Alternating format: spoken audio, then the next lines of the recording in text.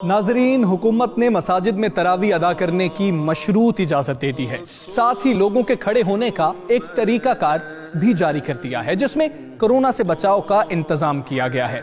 आइए इस प्लान को समझने की कोशिश करते हैं। सबसे पहले इमाम साहब और पहली सफ के दरमियान छह फिट का फासला रखा जाएगा, यानी इमाम साहब का मसल्ला छह फिट आगे कर दिया जाएगा।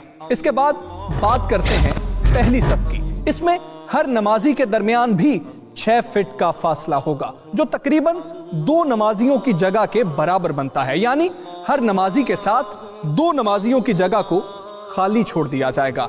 यूँ पहली सफ मुकम्मल हो जाएगी।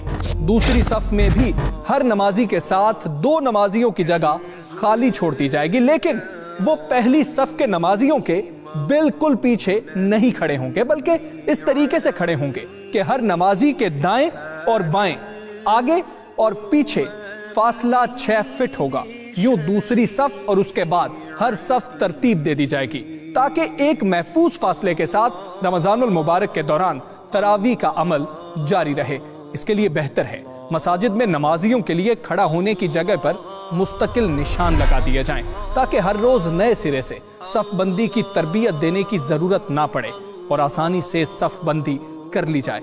92 न्यूज ने आवाम की आसानी के लिए इस प्लान को आसान तरीन करके आपके सामने पेश कर दिया है ताकि ज्यादा से ज्यादा मसाजिद में इसका इतलाक हो और तरावी तमाम मकातिब फिक्र के उलमा की राय की रोशनी में बर वक्त शुरू हो सके